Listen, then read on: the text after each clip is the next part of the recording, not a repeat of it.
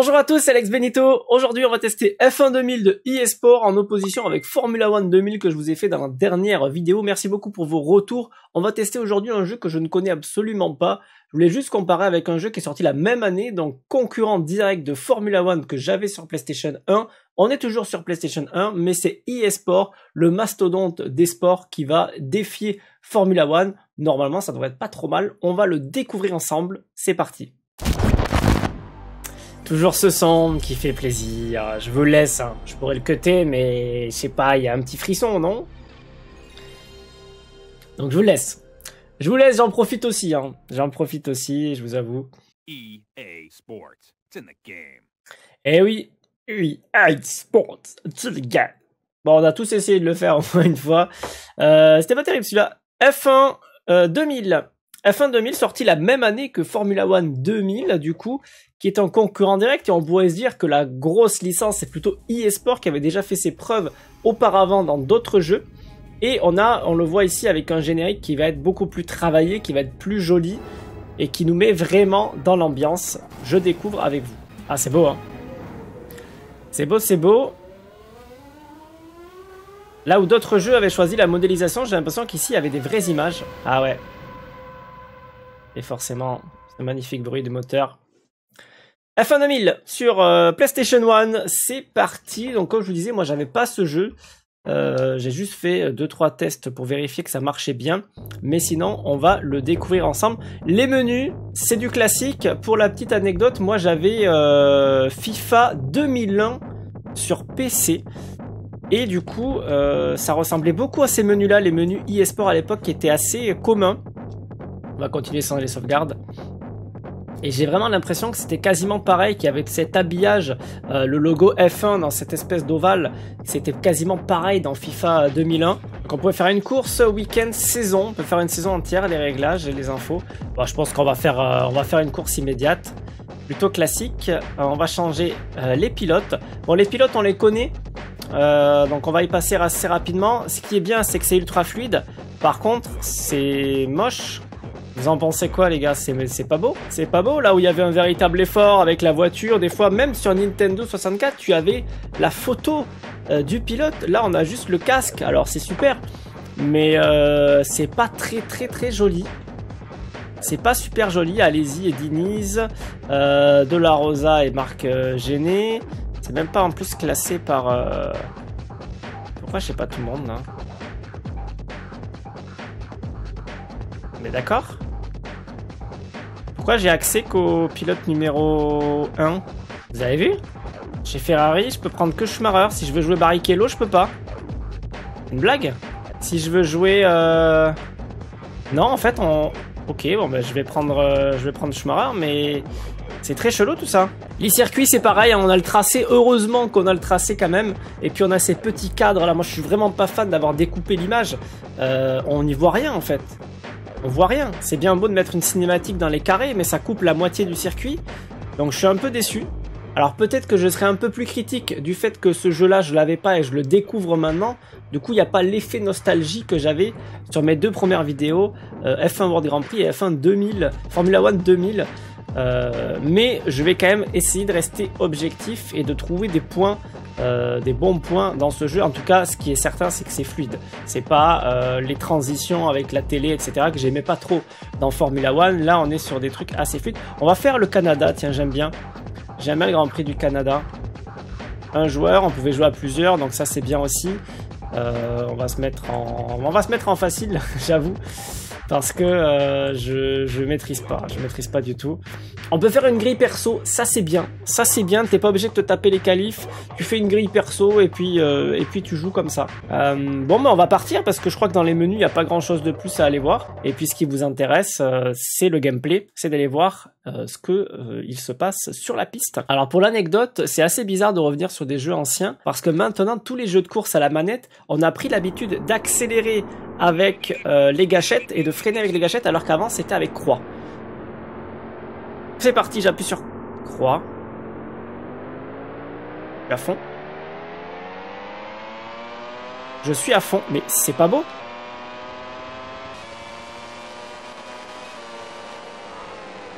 Oh le frein, oh le frein. D'accord, c'est bon.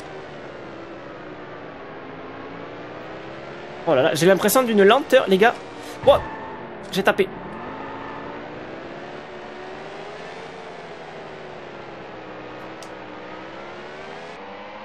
Alors, je sais pas si c'est moi ou parce que le, test de Formula One, je l'ai fait il y a 2-3 jours. Et, moi j'ai à moitié arraché un truc. J'ai l'impression, là j'appuie à fond, hein, j'appuie à fond, j'ai l'impression que c'est très très lent. J'ai l'impression que c'est grave lent. Alors la maniabilité est pas dégueu. J'avoue que la maniabilité est plutôt sympa. Par rapport à Formula One, on avait vraiment l'impression d'avoir des voitures très très lourdes. Là, on est quand même assez maniable. Hop, on va pouvoir prendre intérieur, extérieur. Voilà, on, est quand même assez maître de sa voiture. Par contre, là, regardez, je suis à 250. J'ai pas l'impression d'être si rapide que ça. Et puis, euh, l'affichage. L'affichage, contrairement à, Formula One, je trouve ça pas beau. L'affichage de la vitesse, euh, même du classement, euh, là je suis 15ème. On vient de dépasser Zonta et on arrive sur Pedro de la Rosa. La chicane. Enfin, plutôt dans l'épingle. Ah, c'est lent de ouf. On va réessayer. Euh. Alors, il y avait cette caméra embarquée qui est pas simple. J'avoue qu'à l'époque, je pense que personne jouait comme ça. Par contre, il y a une caméra que j'aime beaucoup, c'est celle-ci. La caméra juste au-dessus de la voiture. Là, on voit bien et on peut se rendre compte peut-être que ça améliore l'effet de la vitesse. Ça améliore peut-être... Oh là, c'est Bosley ici. Ça améliore l'effet de vitesse. On va pouvoir freiner. Je pense qu'il va falloir se faire la main en quelques tours. Ça tourne pas. J'ai mis les dégâts, mais pour l'instant, ça a pas l'air d'être euh, d'être trop trop ça. Et on n'a pas de, voyant en fait. On n'a pas de voyant de dégâts. Là où déjà sur Nintendo 64, c'est vrai que j'ai l'impression, à chaque fois que je, vais faire un test, de comparer avec celui-là. Mais, mais F1 World Grand Prix était très en avance sur son temps. Puisqu'il y avait déjà euh, les, petits affichages qui pouvaient détecter les avaries. Neuvième. Hein. va quand même. Enfin un jeu où je vais pouvoir faire une remontada et finalement peut-être le plus jouable des trois. Le plus jouable des trois, même s'il y a cet effet de lenteur que j'ai trouvé au début, que j'arrive maintenant à appréhender, bah je tape à chaque fois. Par contre, à chaque fois que je veux... Oh J'ai foutu en l'air Jacques Tiens Bienvenue à la maison, Jacques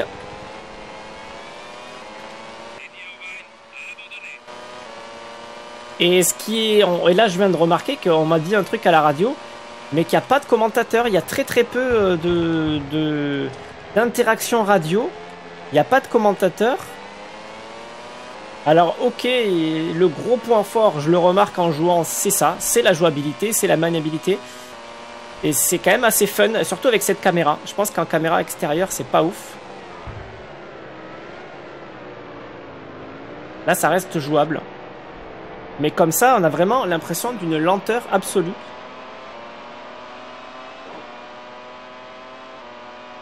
Mais ce qui est le gros point fort de Formula One, c'était l'immersion, c'était l'affichage comme à la télé, c'était euh, les commentateurs qui donnaient des infos sur la course, sur qui devance la course, est-ce qu'il y a des abandons, etc., etc. Là, on a très très peu d'infos, on n'a rien. C'est le jeu en brut, et le point fort, c'est le gameplay. Troisième, on revient sur Mika Akinen. On va les boucler, hein, on va les boucler, on boucle le troisième tour. On va les finir. Et je pense que je vais, si je joue bien, j'ai l'impression que c'est moins jouable comme ça, en caméra extérieure, alors que pour l'époque, il fallait jouer en caméra extérieure. C'est ouf parce que la première impression était mauvaise, et plus j'avance dans les tours, et plus je prends du plaisir. Puisque je trouve euh, vraiment la maniabilité, pour euh, l'époque, très très jouable le gros défaut, c'est qu'en général, les jeux vieillissent tellement mal qu'on peut même plus y jouer, c'est même plus dans nos normes à nous.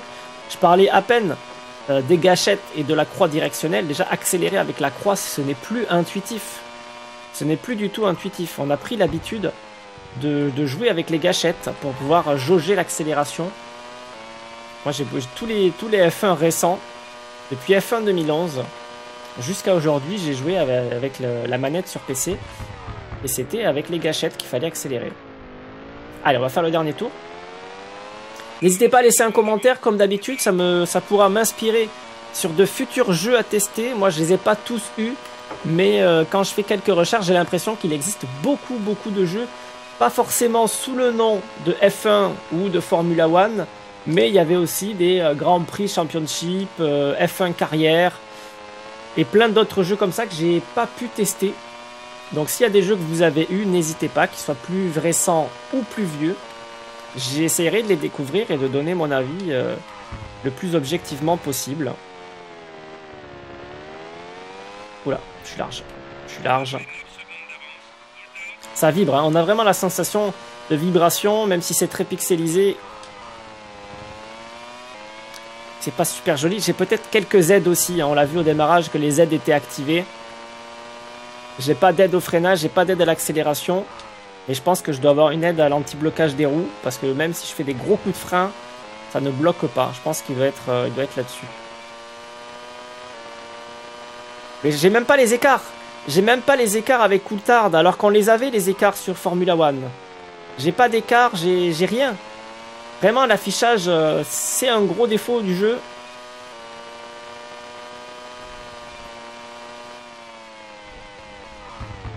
Ah si, moins, moins 0,6. Mais ça, c'est mon écart par rapport à ce que moi j'ai fait au tour précédent. Mais j'ai pas l'écart avec, euh, avec Coulthard, même si je regarde derrière. Bon, en tout cas, c'est sûr. C'est pas une menace.